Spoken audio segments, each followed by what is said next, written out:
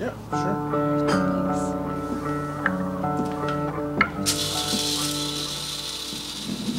Well, stereo, some people say I don't listen